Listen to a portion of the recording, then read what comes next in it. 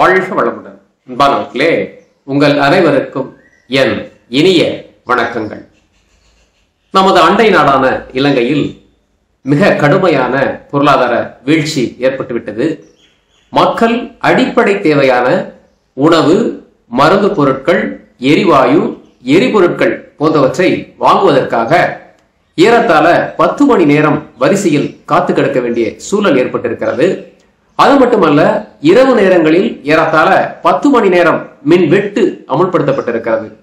இப்படி பகலிலும் இரவிலும் சொல்ல முடியாத துயரங்களுக்கு அந்த மக்கள் ஆட்பட்டிருக்கிறார்கள். இது போதாது என்று அவருடைய வேலை வாய்ப்பும் பெருமளவில் பாதிக்கப்பட்டிருக்கிறது. இதற்கான காரணம் என்ன?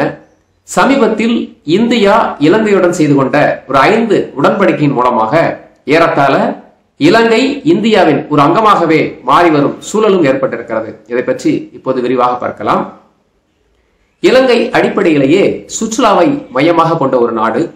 அதன் மூலம்தான் பெருமளவு அந்நிய செலவாணியை ஈட்டிக் கொண்டிருந்தது.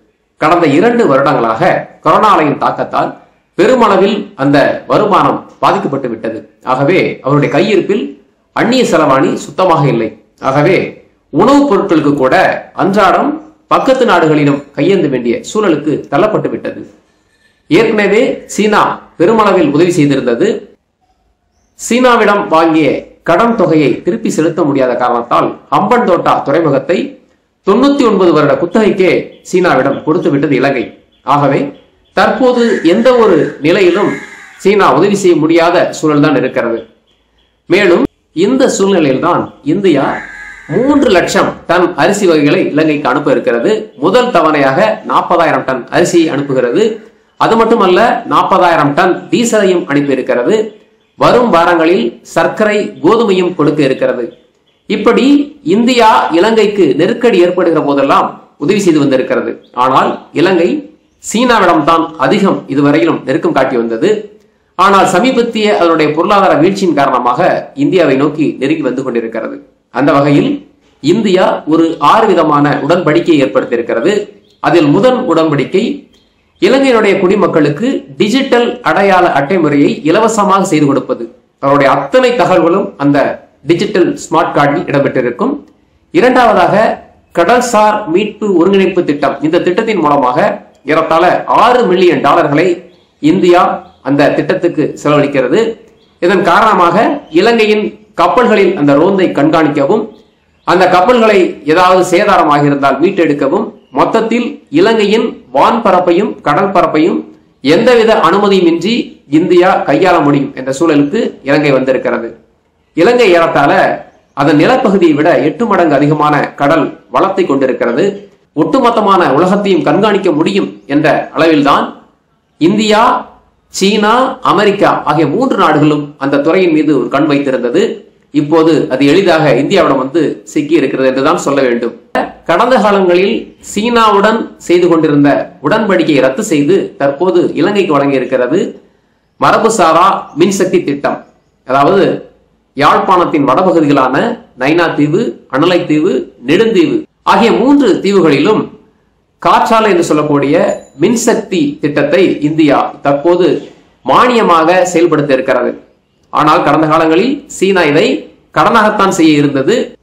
தற்போது இலங்கையினுடைய வீழ்ச்சியான பொருளாதார சூழ்நிலை கருத்தில் கொண்டு அந்த மொத்த திட்டத்தையும் இந்தியாவிடம் ஒப்படைத்திருக்கிறது மூன்றாவதாக இலங்கையின் மீன்பிடி துறைமுகங்களை அபிவிருத்தி செய்யும் திட்டம். அதன் மூலமாக எந்த ஒரு துறைமுகத்துக்கும் இந்தியா எந்தவித அனுமதியுமின்றி தடங்களுமின்றி செல்ல முடியும். அடுத்ததாக காளி மாவட்டத்தில் இருநூறு பாடசாலைகளில் கணினி மயமாக்கப்பட்ட மென்பொருட்களோடு ஆய்வகங்களை அமைப்பது. இதன் மூலம் அந்த இலங்கை தமிழருடைய கல்வி மற்றும் அவருடைய நிலை மேலும் உயரும். வெளிநாட்டு சேவைக்கான சுஷ்மா ஸ்வராஜ் திட்டம். இதன் மூலமாக அந்த நாட்டின் வெளிநாட்டு நிலையங்களை சீராக அமைப்பது. இப்படி அனைத்து விதமான திட்டங்களையும் இந்தியா முன்னெடுத்திருக்கிறது. கடந்த காலங்களில் இந்தியாவுடைய எந்த ஒரு கருத்தையும் இலங்கை ஏற்றுக்கொள்ளாமல் அது சீனாவின் பக்கம் சாய்ந்து கொண்டிருந்தது. ஆனால் இப்பொழுது இந்தியாவுடைய காலமாக இருக்கிறது.